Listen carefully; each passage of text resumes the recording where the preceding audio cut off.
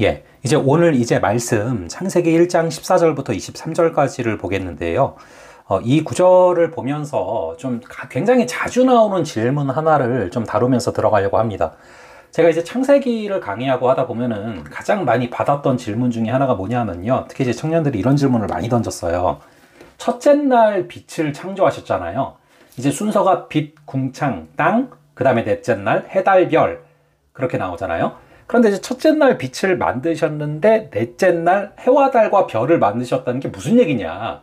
해와 달과 별을 만드시면 거기서 빛이 나오는 거 아니냐?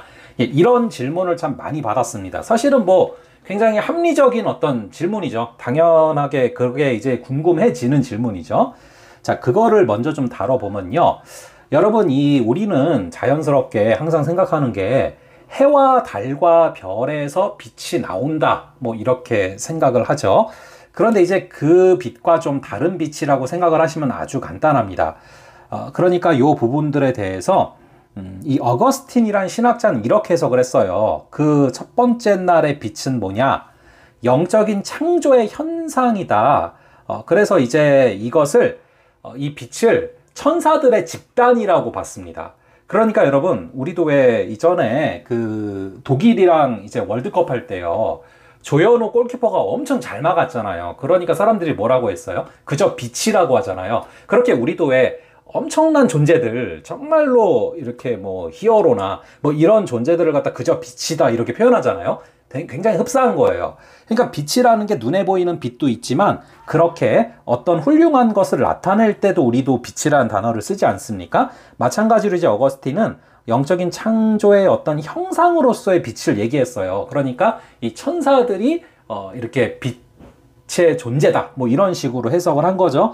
그것을 이제 마르틴 루터도 또 존 칼빈도 그러한 어떤 해석을 받아왔습니다. 그래서 이제 여러분 요한복음 8장 12절에 보시면은 예수님께서 어, 세상의 빛이다. 내가 세상의 빛이다라고 말씀하지 않으십니까? 바로 그게 이제 이런 빛인 거죠. 예, 창, 이제 창세기 1장의 첫째 날에 이제 나오는 그 빛인 거죠. 자, 그리고 여러분 우리가 지난번 살펴봤던 고린도후서 4장 6절에도 보면은 어두운데 빛이 빛이라 말씀하셨던 그 하나님께서 예수 그리스도의 얼굴에 있는 하나님의 영광을 아는 빛을 우리 마음에 비추셨느니라 라고 말하고 있습니다. 그러니까 여러분 그런 빛을 얘기하는 거예요. 그런 어떤 빛을 첫째 날 창조를 하셨어요. 이 빛 자체를. 그런데 그 빛이 우리 눈에 보이는 가시적인 빛으로도 나타나게 하신 것이 바로 해와 달과 별인 것이죠. 예, 이해가 가시죠? 자, 그래서 여러분, 어, 사실은 우리가 이 해와 달과 별을 놓고서 우리 크리스찬들은 엄밀하게 말하면 자연이다라고 표현을 하면 안 돼요. 자연, nature라는 단어보다는 creation이라는 단어를 써야 된다고 말씀드렸죠.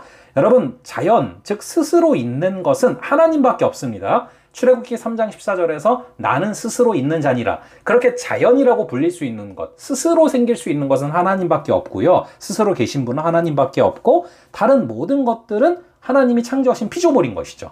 그러니까 여러분 해달 별이 있어야만 빛이 있을 수 있고 이런 게 아니에요. 하나님이 있으라 하실 때 있게 되는 겁니다. 자, 그렇게 첫 번째 질문을 좀 다루어 보았고요. 그 다음에 이제 오늘 저희가 집중해서 볼 부분 중에 하나가 사실은 이 허무함이라는 단어예요. 허무함이라는 단어. 제가 이제 지난번에 한번 그런 말씀을 드렸는데 우리가 이제 혼 돈과 공허와 흑암이 있는데 그 혼돈과 공허와 흑암을 해결하신 것이 바로 하나님의 창조의 역사라고 말씀드리지 않았습니까? 그런데 이제 혼돈이 첫째 날, 둘째 날, 셋째 날을 통해서 해결이 돼요. 그런데 이 혼돈이 뭐라고 말씀드렸습니까? 광야다라고 말씀드렸잖아요. 그리고 넷째 날, 다섯째 날, 여섯째 날, 예, 이것이 이제 공허라는 단어가 허무라는 단어랑 흡사합니다. 여러분, 이 허무한 분들 계십니까? 이 허무라는 것은 너무 강력해가지고요. 이 허무, 이 단어 자체가 그래요. 이 허무가 빌 허자에 없을 무자입니다. 비 없는데 또 없대요. 듣기만 해도 힘이 빠지는 단어죠. 이 허무는 삶 가운데 아무것도 없는 상태예요. 느낌도 감정도 소망까지도 없어지는 거예요. 이 허무는 너무 강력해서 어느 분야에서든지 이 허무가 들어가 버리면은 아주 강한 영향력을 행사하게 됩니다. 심지어 이 개그 속에 허무가 들어가면은 웃기지가 않아요. 허무 개그라고 하잖아요. 여러분 이 허무가 삶 속에 들어간다. 아주 강한 힘을 행사합니다. 허무에 빠진 사람들의 일곱 가지 특징이 있어요. 한번 여러분들 점검해 보셨으면 좋겠는데요. 절반이 넘어간다. 그럼 상당히 심각한 허무에 빠져 계신 거예요. 첫째, 허무는 재미가 없는 겁니다. 그냥 재미가 없어요. 교회 가도 재미가 없고, 그렇다고 집에 가도 재미가 없고, 맛있는 걸 먹어도 재미가 없어요. 뭐든 다 재미가 없다. 허무에 빠진 겁니다. 둘째로 삶의 의미를 모르겠을 때 허무에 빠진 거예요. 왜 살아야 되는지, 왜 존재해야 되는지를 모르겠다. 세 번째로 늘 하던 일이 이상하게 귀찮고 따분해진다. 청소하는 것도 따분하고, 예, 주일날 교회 가는 것도 따분하고, 기도하는 것도 귀찮고 따분하다. 이게 이제 허무한 증상 중에 하나고, 네 번째는요, 주변 사람들에게 이유 없는 짜증을 낸다. 이유는 모르겠는데 버럭 화가 날 때도 있다. 예, 이게 이제 굉장히 중요한 증상 중에 하나고요. 다섯 번째, 가정이나 교회 혹은 내가 속한 공동체에 내가 꼭 있어야 되나? 이런 생각이 듭니다. 내가 꼭 가야 되나? 나 하나쯤 빠져도 될 것 같은데? 뭐 이런 생각이 드신다. 그럼 이제 허무에 빠졌다는 증거고. 여섯 번째, 지금 살아가는 것 자체가 별다른 소망이 없어요. 기도 제목도 아예 없어요. 아무런 뜨거움도 없고, 내일이 기다려질 이유가 없다라고 느껴집니다. 위험한 상태입니다. 자, 그리고 마지막으로 일곱 번째, 이유를 알 수 없는 답답함이 마음속에 있다. 허무에 빠진 상태예요. 여러분들 몇 가지 정도 해당되십니까? 여러분들이 4개 이상 해당된다면 굉장히 심각한 거예요. 차라리 뭐 역경 속에 있을 때는 그래도 어려움 가운데 있을 때는 살아 있다는 느낌은 있는데 그래서 어떻게든 이겨나가야지 생각이 있는데 허무에 빠지면 이거 뭐잘 되는 것 같지도 않고 안 되는 것 같지도 않고 그런 시간 속에서 정말 나의 많은 것들을 낭비하게 되고 허비하게 된다는 거예요. 그래서 허무 가운데 있으면 기도를 해도 마음이 냉랭하고요. 찬양을 하는데 감격이 없어요. 봉사를 하는데 짐으로만 여겨집니다. 그런 상태에서는 허무에 빠질 수밖에 없다는 거예요. 근데 놀랍게도 하나님께서 혼돈과 공허와 흑암을 깨셨잖아요. 이 공허가 허무인데요. 이 허무한 상태를 깨시고 예, 그 가운데 하나님의 것들로 채우는 거. 그게 창세기에 나온다는 겁니다. 그래서 여러분들 우리의 상태도 만약에 여러분들이 공허한 상태라면은 정말 허무한 상태라면은 하나님의 영 성령께서 여러분들을 안아주셔서 여러분들의 그 심령을 하나님의 선한 것들로 하나님이 보시기에 좋으신 것들로 채워지는 역사가 있기를 기도하시기 바랍니다. 하나님의 영께서 안아주시면 분명히 여러분들의 심령을 허무한 심령을 하나님의 것으로 채워 주실 줄로 믿습니다. 자, 마지막으로 하나 살펴보고 마치려고 하는 것은요. 하나님께서 창조하신 것, 또 하나님께서 채워놓으신 것들 중에 뭐가 있냐면요.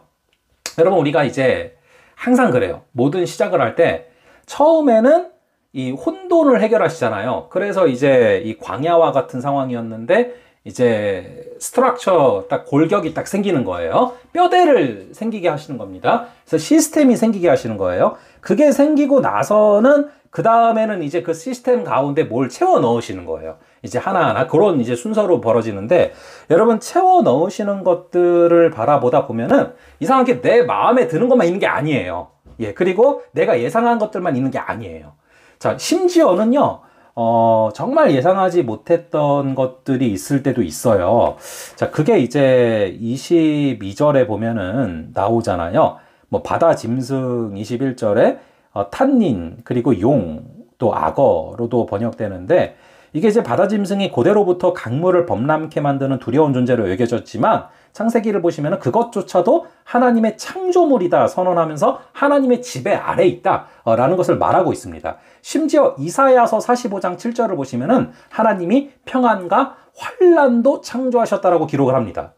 우리는 환란을 당할 때는 하나님이 외면하신다라고 느낄 때가 많지만 그때도 하나님은 우리 손을 놓지 않으시는 거예요. 왜냐하면 환란조차도 하나님이 창조하셨고 하나님의 주권 아래 있기 때문이죠.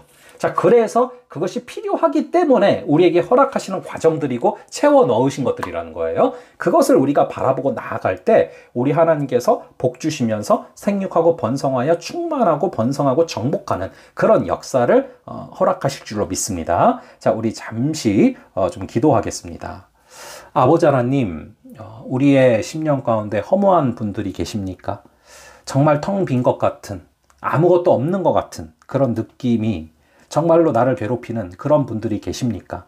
간절히 기도하기는 혼돈과 공허, 정말 이 광야와 같은 상태와 허무한 상태를 주님께서 성령께서 안아주실 때 해결하신다라는 것을 우리가 창세기를 통해서 믿게 하시고 아버지 그 성령 하나님께서 안아주시는 역사가 그래서 허무한 부분이 있다면 그것이 예수 그리스도의 마음으로 주님의 사랑으로 가득 차는 그러한 역사를 허락하여 주시옵소서. 아버지 하나님 간절히 기도하기는 정말 빛 대신 아버지, 세상에 비치신 아버지, 정말로 우리의 어두운 마음들을 정말 우리 하나님께서 어두운데 빛이 빛이라 말씀하시던 하나님께서 예수 그리스도의 얼굴에 있는 하나님의 영광을 아는 빛을 우리 마음에 비추어 주시는 그런 귀한 하루 되게 하여 주시옵소서. 아버지 우리가 눈으로 볼 때 해와 달과 별에서 나오는 그 가시적인 빛이 아버지 우리의 심령에 비추어져서 정말 그 영적인 그 빛이 우리 심령에 비추어져서 아버지 우리가 주님 주시는 그 힘으로